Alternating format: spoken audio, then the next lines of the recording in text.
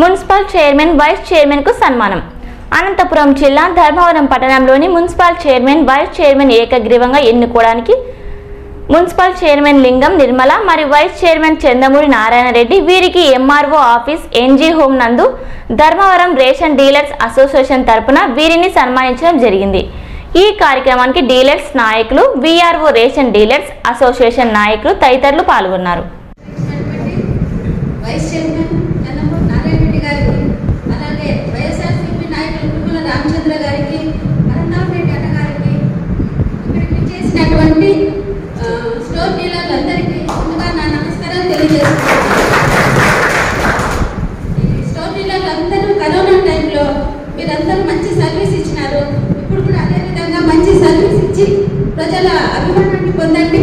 మీరందరి సహకారంతో ధర్మవరం అభివృద్ధి చేయాలని కోరుకుంటున్నాను. మన కేతిరెడ్డి నాయకత్వంలో అభివృద్ధి కార్యక్రమాలు చేయాలి కోరుకుంటున్నాను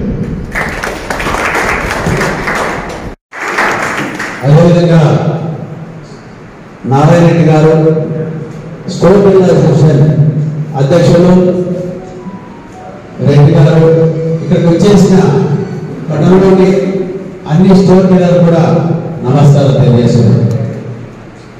ఇప్పుడు ఏ పార్టీ పనిచేసినా కూడా ఇవన్నీ కమ్యూనిస్ట్ పార్టీ అయితేనే తెలుగుదేశం పార్టీ అయితేనే వైసీపీ అయితేనే ఏ పార్టీ పనిచేసినా కూడా బడుగు బలహీన వర్గాల కోసం పనిచేస్తారు. ఈవెన్ కమ్యూనిస్ట్ పార్టీ కూడా ఏం స్లోగన్ ఇస్తాయంటే ఆర్థిక అసమానతలు లేని మంచి సమాజ నిర్మాణమే మా ధ్యేయమంటూ పనిచేస్తాయి.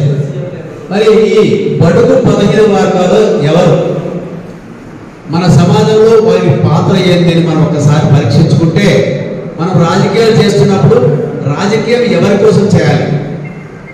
రాజకీయం ఏంటి? రాజకీయ పార్టీల ఉద్దేశం ఏంటని ఒకసారి మనం దీర్ఘంగా ఆలోచన చేస్తే సమాజంలో అప్పర్ క్లాస్ అంటే ధనవంతులు మిడిల్ క్లాస్ లోయర్ క్లాస్ అంటాం. వీళ్ళు వర్కింగ్ క్లాస్ అంటే బడుగు బలహీన వర్గాలు బిలో ప్రావర్టీ